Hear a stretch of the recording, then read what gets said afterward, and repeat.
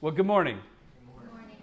Today is the day of Pentecost. If you can't read that font, that's what that says there. It's a fancy font, kind of the oldest one I could find. Um, and so uh, the day of Pentecost is something that is monumental for the church. Uh, in fact, how many of you, I'm going to give you time of confession this morning, okay? How many of you did not know today was Pentecost Sunday? Awesome. So there's quite a few. How many of you did? I, I need to probably, all right. All right, so. Just because you asked me.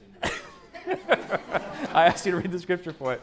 So, one of the things about um, being a, in a church that is of our tradition, if you will, which is more um, reformed and, and, not necessarily in with mainline Christianity. Mean, we're mainline Christians, but it's not within like the Catholic Church or the uh, Episcopalian mainline uh, Orthodox Church. Is that we oftentimes forget that there's like a whole calendar uh, that is, is set for people around the world. So, around the world today, all kinds of Christians and all kinds of denominations are celebrating Pentecost. Uh, that the Pentecost is a word that means 50. It's 50 days after the resurrection. It's also 50 days after Passover, where there's a, a Jewish feast um, uh, called the Feast of, oh gosh, I forgot the name of it.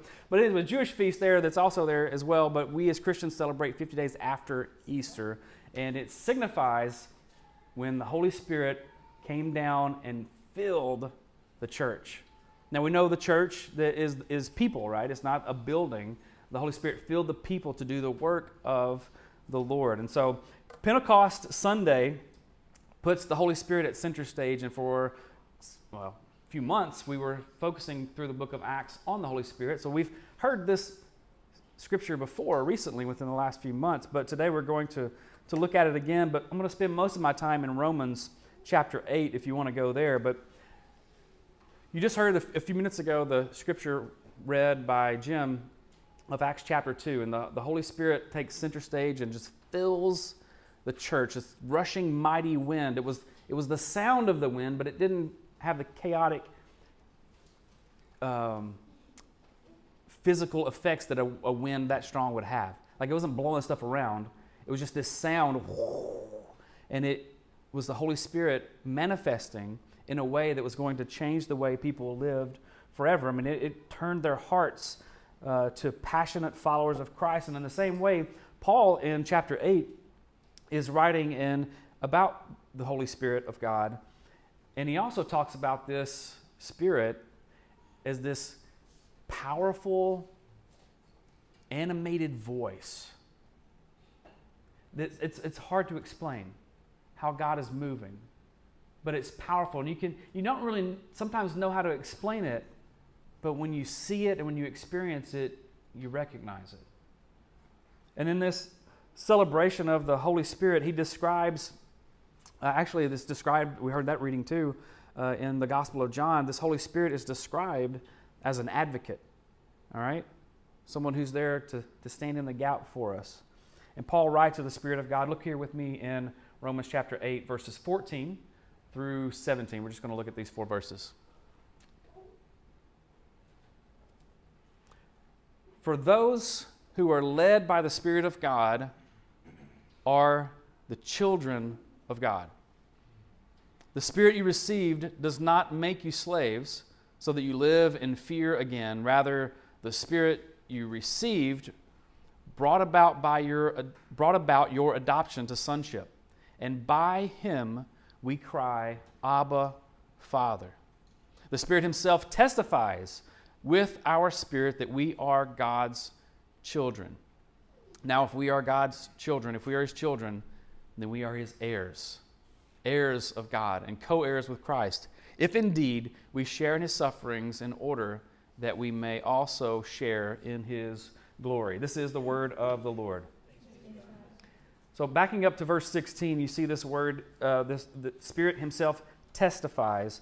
Uh, so, Paul is saying that the Spirit of God testifies and bears witness with our spirit the things of God. And so, there's, there's a Greek word there uh, for testifies, and it, it, compounds some different words together, okay? And it means, it means with in, in one regard, it means it's, it's with, and also it means to witness. So there's this translation, possibly, that he bears witness with. So it's, it's the Spirit of God working with us to do something. So Paul could have simply written that the Holy Spirit witnesses our spirit, um, but he didn't do that. The emphasis is on a relationship between God and God's people.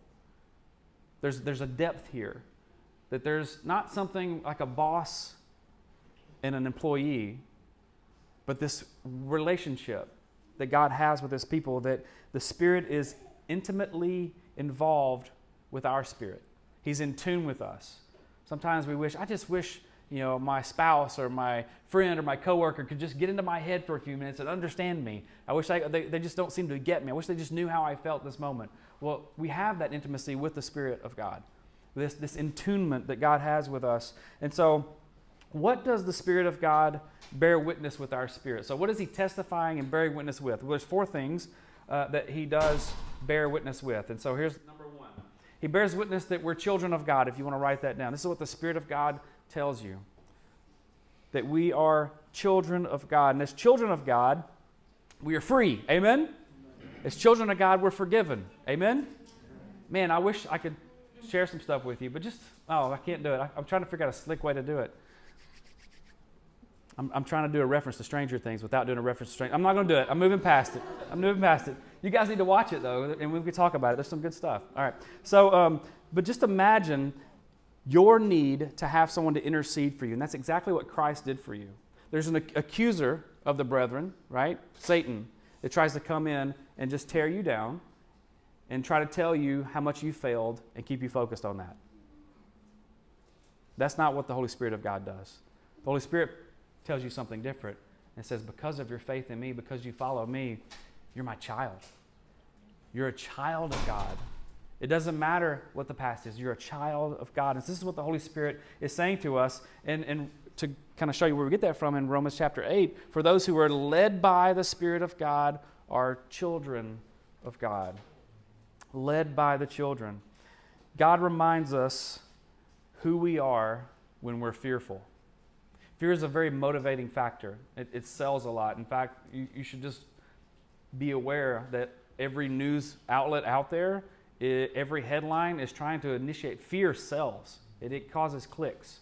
And it, it, it wants you to be divided so that you can take care of yourself. It, it motivates you to act.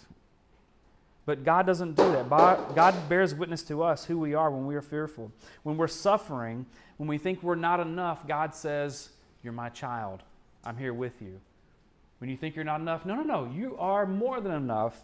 You're my child. We are His beloved children.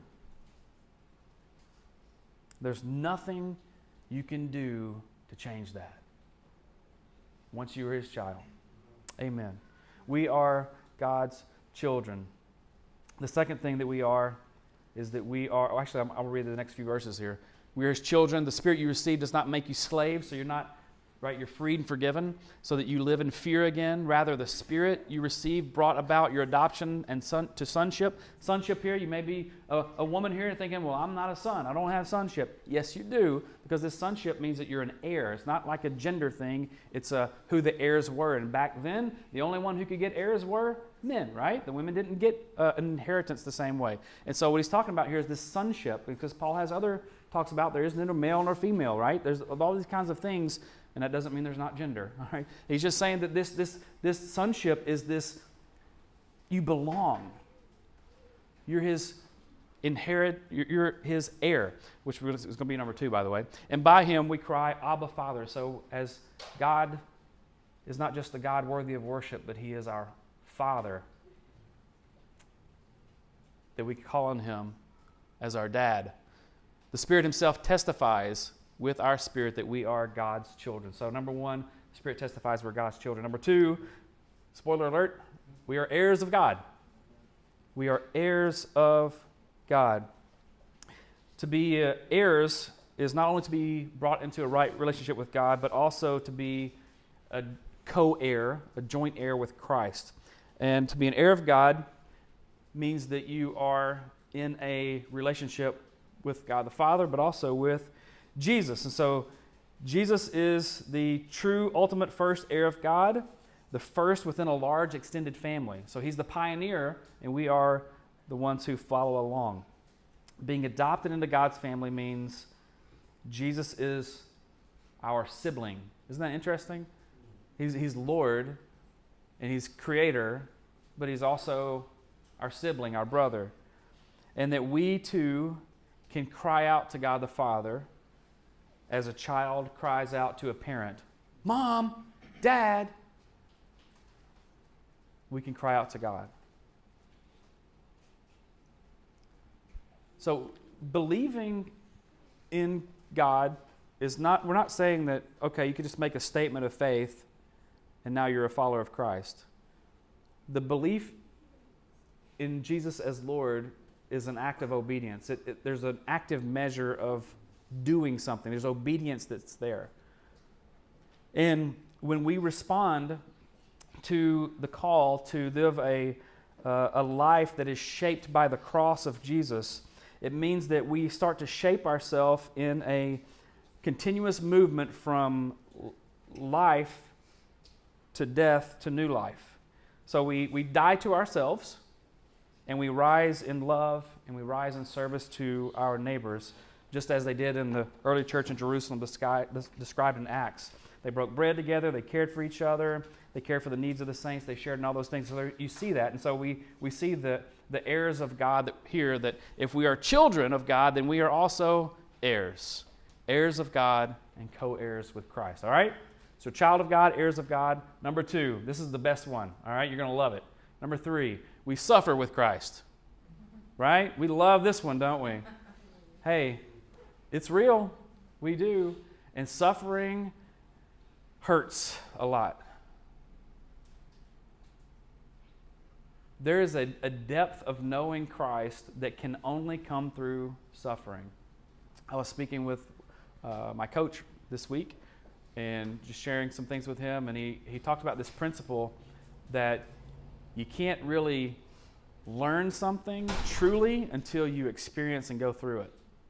Like you can know uh, the principle of it, but you really learn it and know it when you go through it.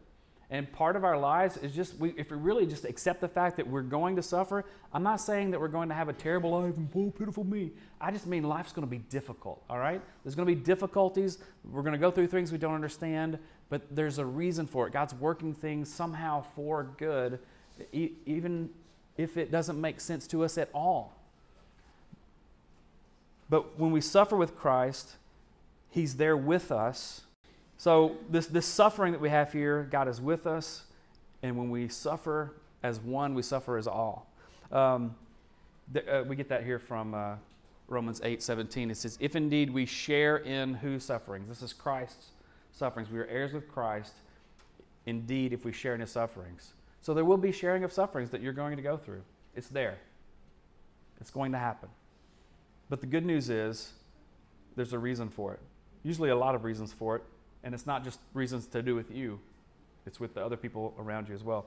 Um, interestingly, the book of Exodus, we're going to take just a little bit of time here to step away into a different story. When Israel was suffering in Egypt, they were slaves for hundreds of years, and God was ready to do a new work. And he said, Moses, I'll just read it to you here. Moses returned to the Lord and said, Why, Lord? Why have you brought terrible, excuse me, trouble on this people? Is this why you sent me? Ever since I went to Pharaoh to speak in your name, he has brought trouble on this people, and you have not rescued your people at all. Boy, anybody ever been there? You're like, God, all I'm doing is trying to do your work, and all this crazy stuff's happening. Anybody? Just me? Some of you? All right, there we go. Like, I'm just trying to do what you want me to do, and this is not working out. What are you doing? Are you not paying attention? All right, Moses, go for it. Then Lord said to Moses, Now you will see. I love how God's not threatened. Every time I see this kind of stuff, God's not threatened and getting angry. He's not getting hot because, Who are you to come and question me? I feel that way sometimes. The Lord said to Moses, Now you will see what I will do to Pharaoh. Because of my mighty hand, he will let them go. Because of my mighty hand, he will drive them out of his country. God also said to Moses, I am the Lord. I appeared to Abraham, to Isaac, to Jacob as God Almighty, but my name the Lord, but by my name the Lord, I did not make myself fully known to them. I also established my covenant with them and gave them the land of Canaan where they resided as foreigners. Moreover, I've heard the groaning of the Israelites, whom the Egyptians are enslaving, and I have remembered my covenant. Therefore, say to the Israelites, I am the Lord, and I will bring you out from under the yoke of the Egyptians. I will free you from being slaves to them. I will redeem you with an outstretched arm and with mighty acts of judgment. I will take you as my own people, and I will be your God. Then you will know that I am the Lord your God, who brought you out from under the yoke of the Egyptians. You see, this is tied in to Romans 8, right? This is just flying off the street. I mean, they're, they're so connected. Drawing them out of slavery, drawing us out of slavery, into freedom, into freedom. You will be my people, I will be your God. This is all for us. I mean, you know what I'm saying, right? The same truths are for us. And I will bring you to the land I swore with uplifted hand to give to Abraham, to Isaac, and to Jacob, and I will give it to you as a possession. I am the Lord. Isn't that a powerful message? Don't you know that when the Israelites heard this from Moses, they were encouraged? Wouldn't that be encouraging to you? Well, guess what? They didn't receive the message that well. Sometimes God gives us a great message and we don't hear it. Listen, listen this next verse, very next verse, verse 9. Moses reported this to the Israelites, but they did not listen to Moses because of their discouragement and harsh labor. Sometimes God can't be more clear to us than He is. But sometimes we can't listen or we're not listening because we're discouraged. And there's harsh labor, it's like this, this oppressive labor that was over them. They had gotten to a place where they couldn't fathom that God could do anything for them. So I want to encourage you today. The story goes on, and you know how it ends. Israel does get delivered. God shows his mighty hand, and they are miraculously delivered from slavery. But I want to encourage you is there an area or are there areas in your life where you're so discouraged or you're so oppressed and burdened that God is speaking to you, but you just can't hear it? So if you are, talk to someone about that and say, hey, this right here is really discouraging me. I'd be glad to talk with you about it if you want to, but sometimes it's best just to talk to a friend or a close um, relative or somebody, somebody that you want to talk to. But where you're discouraged is where the enemy is going to try to attack. And he's going to try to remind you of how hopeless it is. He's going to remind you of how much you've screwed up. And if you stay there, you're going to stay down. But if you'll turn and you'll look and you'll listen to the Lord, then He'll bring you out, right? He'll bring you right out. Suffering with Christ has purpose, and it leads to the, this should be number four, it says number three, but just make that a four in your own notes. The fourth thing here is that the Spirit testifies that we are to be we are going to be glorified with Christ. So there is suffering, yes, but listen, there's a glorification that's coming. It's happening, it's, hap- it's happened, it's happening, and it's coming, right? We don't see it in full yet, but we see it in part. This glorification that's coming. And so in Acts chapter 8, 14, it says, In order that we may also share in God's glory. It means to glorify with.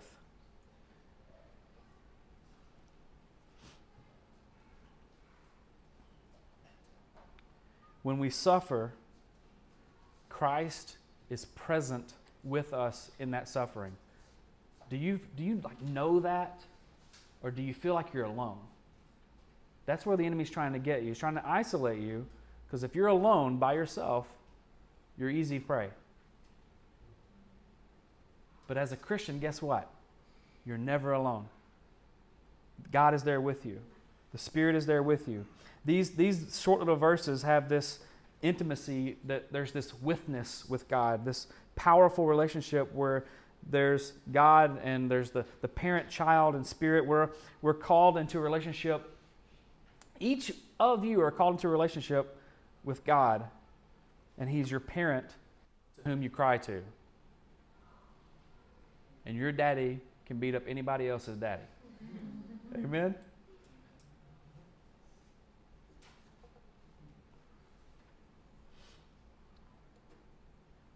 The Spirit testifies that we are children of God.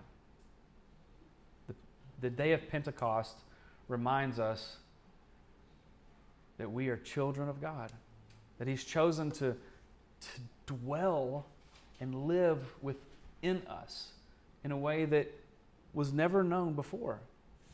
Even the, the way the Spirit filled the Old Testament prophets wasn't the same way. There was this manifestation that is special for God's children in this age of the church. There are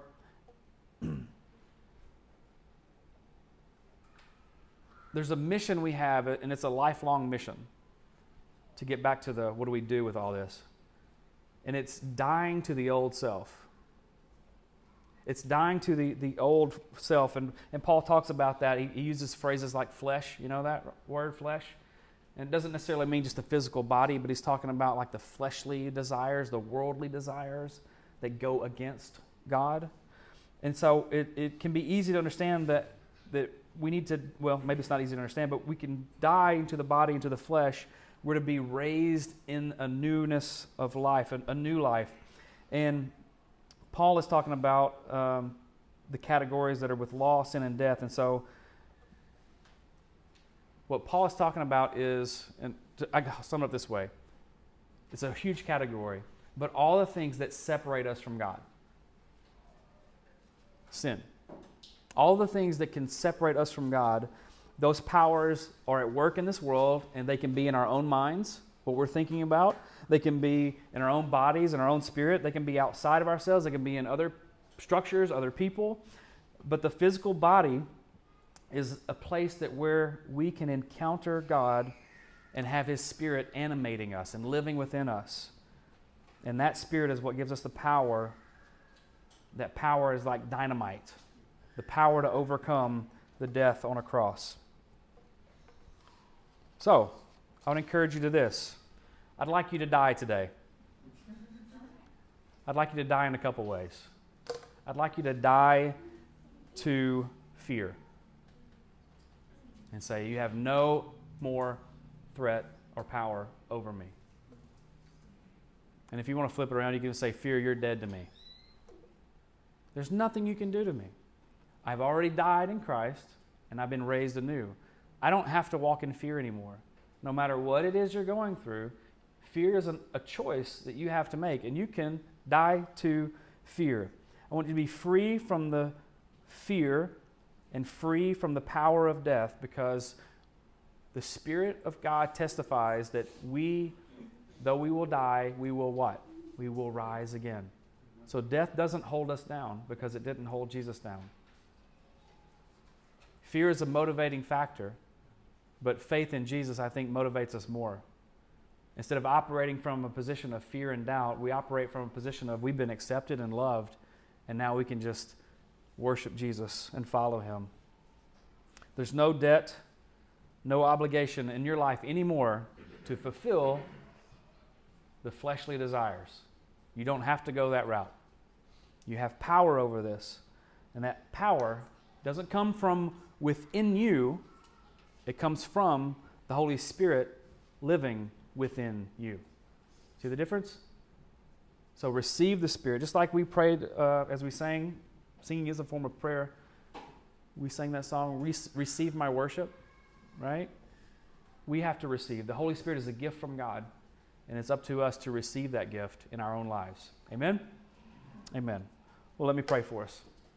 Lord Jesus, we want to thank you for living within us through the power of the Holy Spirit. And we pray, God, that we would be free as you have made us free, that we would find uh, forgiveness to, to take a, a deep work in, into our hearts, that we would know that, that we are not uh, bound or limited by the, the sins of our past. Lord, I pray that you would develop, uh, that you would deliver us from any stronghold that's in our life right now, whether it be fear or some other form of, uh, flesh, fleshly desire, something that's separating us, something that's keeping us from being close to you, Lord. I pray for deliverance in our lives right now.